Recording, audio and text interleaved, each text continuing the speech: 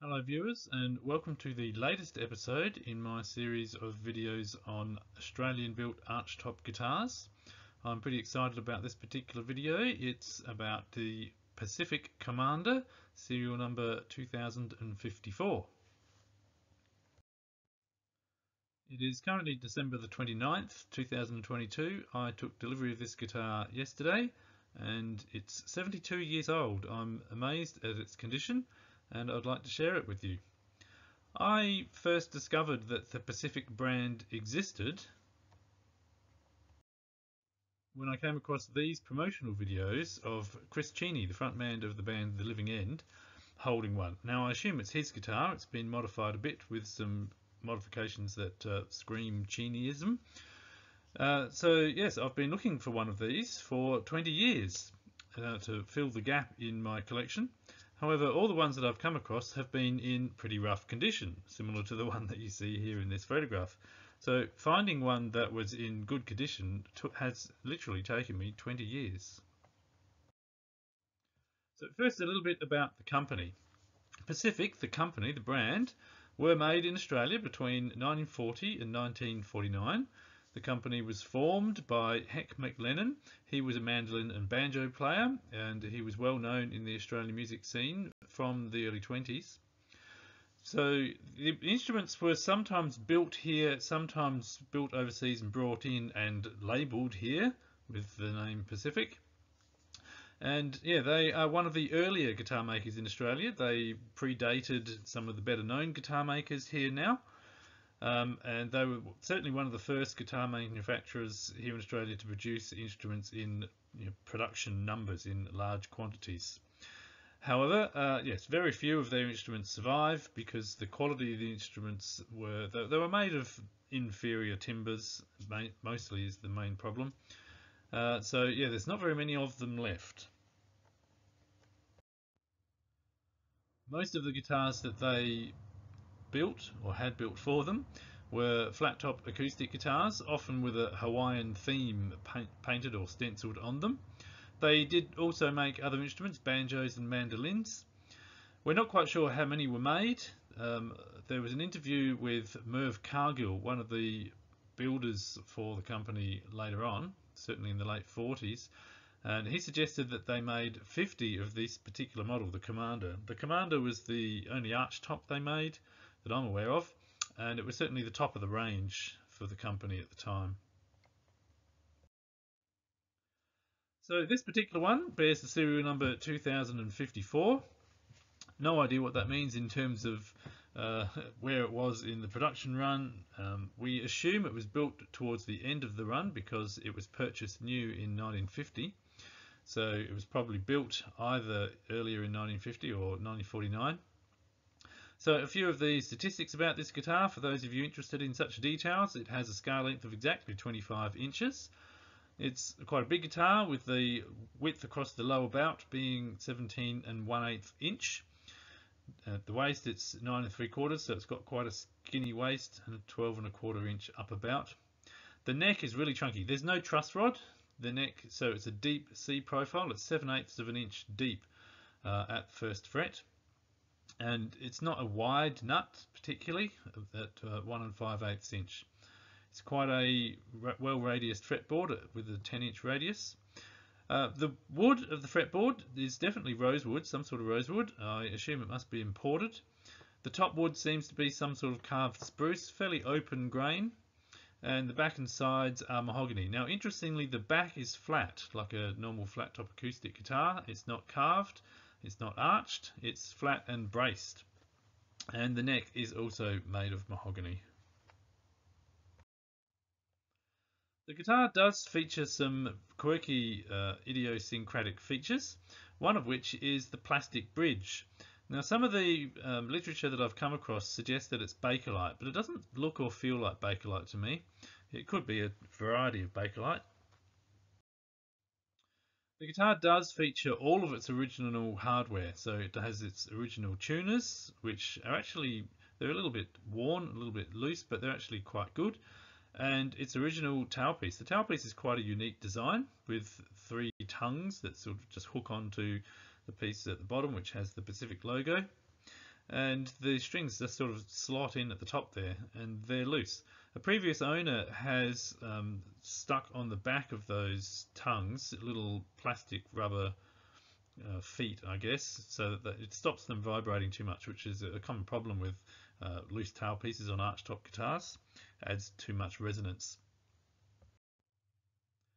Some other quirky features of the guitar is that it does actually have a plastic nut which is mounted on a couple of wooden shims. Now I assume the idea is here you could replace those shims uh, or thin the shims or whatever to adjust the height of the nut. Uh, so yeah, that's a feature that I've never seen on another guitar before. And the guitar did come to me with its original pickguard or scratch plate or finger rest, whatever you want to call it, in archtop circles. However, as you can see, uh, it was in quite a horrible state, being 72 years old. It's shrunk. The plastic, it's actually quite a soft kind of plastic, and it seems to have shrunk, and in the process of shrinking has warped and cracked. So I've made a new replacement, but I'll keep that one with the guitar in the case. So, as I said earlier, the Pacific Commanders were built by a guy called Merv Cargill, who was quite a well-known guitar builder in Melbourne. And he passed away, I think, last year, or in 2020, not too long ago. Uh, but fortunately, there's lots of um, interviews with him and literature about him, so we know quite a lot. And his son has um, continued the legacy by carrying on with Cargill Custom Guitars in Victoria. And as I said earlier, it's in this interview that Merv suggested that they made 50 Pacific Commanders.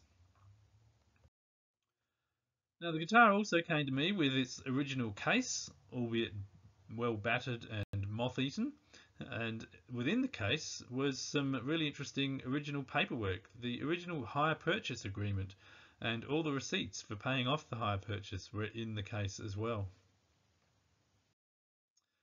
As you can see from the original hire purchase agreement, the agreed price was £44 and 16 shillings and you can see from all the receipts there the final payment was actually so the, the guitar was purchased on the 31st of October in 1950 and the final payment was on the 16th of March 1951 so it didn't take too long to pay it all off.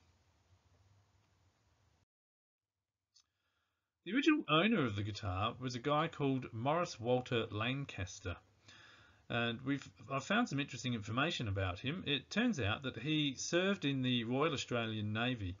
Uh, he was too young to serve during World War One. He was in the cadets during World War One, but in World War Two he had worked his way up the Navy to the rank of lieutenant commander, and he was actually um, commanding a ship called the HMAS Maryborough during World War Two. He saw action off the northeast coast of Australia during the war uh, which is really interesting because the guitar is called a Pacific Commander, and he was a commander of the ship on the Pacific during the war. At some point in the guitar's history, it's also been owned by somebody by the name of M.E. Lang, who took the liberty of engraving their name on the tailpiece in a couple of places. So you're not all here to hear me talk about the guitar. What you really want to hear is the guitar itself. So I'll play you a few tunes. The first one I'll play is a slow blues, so you can hear some of the chord work. Uh, it's a blues in B flat called Blue Monk, composed by Thelonious Monk. Then I'll play something slightly more up tempo, a tune by Duke Jordan called Jordu. Uh, again, this I've chosen this song because it will feature the lower part of the, the lower register melodically, which I think this guitar works really well. Um, the guitar's a bit thin in the top register, to be honest. And then I'll finish with a song, a, a Beatles song called Julia.